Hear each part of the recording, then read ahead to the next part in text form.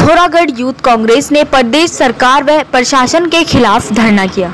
उत्तराखंड के जनपद पिथौरागढ़ में यूथ कांग्रेस द्वारा जिला अध्यक्ष ऋषेंद्र मेहर के नेतृत्व में प्रदेश सरकार व प्रशासन के खिलाफ जिलाधिकारी कार्यालय में धरना दिया गया।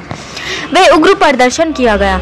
यूथ कांग्रेस जिला अध्यक्ष ऋषेंद्र मेहर ने कहा, लंबे समय से प्रदेश सरकार से मांग कर रही है कि कोरोना महामारी से बचने व लड़ने के लिए हमने कोविड 19 की विस्तारित जाँच करनी पड़ेगी, ताकि हमको वास्तविक रूप से पता चल सके कि कौन व्यक्ति संक्रमित है और कौन संक्रमित नहीं है, ताकि उसी आधार पर हम संक्रमित लोगों को आइसोलेट कर उनका स्वास्थ्य परीक्षण करें, उनको स्वास्थ्य लाभ दिलाएँ और कम्युनिटी स्प्रेड होने से बचा सकें।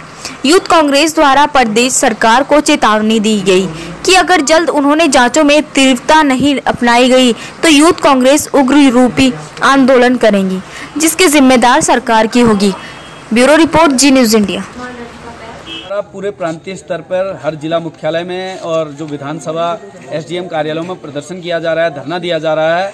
हमारा मुख्य उद्देश्य ये है कि कोरोना महामारी अपनी जड़ें हमारे देवभूमि उत्तराखंड में भी फैला चुकी है और बहुत स्पीड से यहाँ कम्युनिटी स्प्रेड फैलता जा रहा है, लेकिन प्रदेश सरकार एसी के कमरों में बैठ के अपने कान और आँख बंद करके बैठी है। हम प्रदेश सरकार को चेताना चाहते हैं और नींद से जगाते हुए कहना चाहते हैं कि आप कोविड 19 की विस्तारित जांचें कराएँ, ताकि वास्तविक रूप से पता चल पाए कि कौन संक्रमित है, कौन पॉजिटिव है या कौन नेगेटिव है, और जो भी संक्रमित लोग हैं, जो पॉजिटिव लोग हैं, उनको आइसोलेट किया जा सके और उनका स्वास्थ्य परीक्षण करके उनको स्वस्थ किया जाए और अन्य जनसमूह को बचाया जाए। और अगर प्रदेश सरकार जल्द से जल्द कोविड 19 के टेस्टों की अगर संख्या नहीं बढ़ाती है प्रदेश में और ज़िले में तो यूथ कांग्रेस उग्र रूपी आंदोलन करने तो सड़कों पर उतरेगी, जिसकी पूरी ज़िम्मेदारी प्रदेश सरकार की होगी।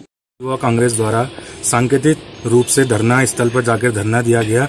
उसका मुख्य कारण यह है कि हमने उत्तराखंड सरकार से एक मांग की है। वो मांग यह है कि जो कोरोना जांचें हैं, जो कोरोना किट है, उसको बढ़ाया जाए, जांचें बढ़ाई जाएँ।